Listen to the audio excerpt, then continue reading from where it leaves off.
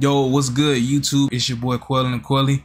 Um, I've been seeing everybody been asking me where you get the PS2 bios from. Where I get the PS2 bios from? Well, today or tonight, I'm about to show y'all. Look, and this is all for this is all for entertainment purposes. Don't you're not supposed to be doing this.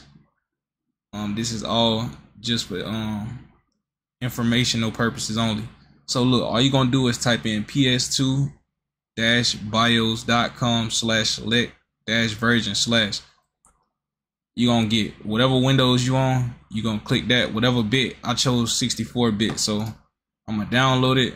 I'm gonna go to download. Boom all right so you see that? Download it. Now look i'm gonna click it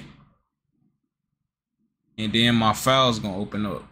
All right so once you get them bios you just gonna you just gonna what i i what i do is I click shift, I hold shift down and then I scroll all the way down while holding shift and left click. Then I click extract all and I click browse. So I think I'll have my bios in my documents.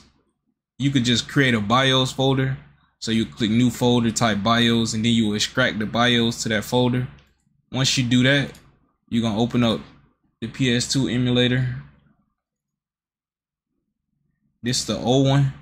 I'm gonna show y'all the old one and the new one. So for the old one, you would go to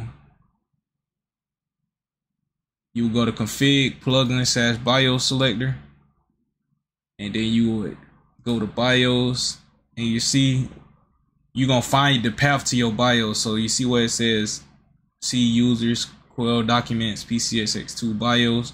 You'll find whatever you named your BIOS folder and where you put your BIOS at. So once you do that, you click USA, whatever country you're in, you click that. So now I'm gonna show y'all the new one. The new one. I like the new one better.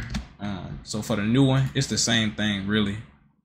So you will click settings, bios, and for this for the new one, I, I have it to D users, my name, documents, PCSX2, and bios.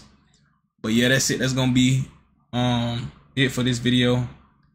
Make sure y'all click that like. Make sure y'all sub up. Um, yeah. Make sure this is all for entertainment purposes, informational purposes only.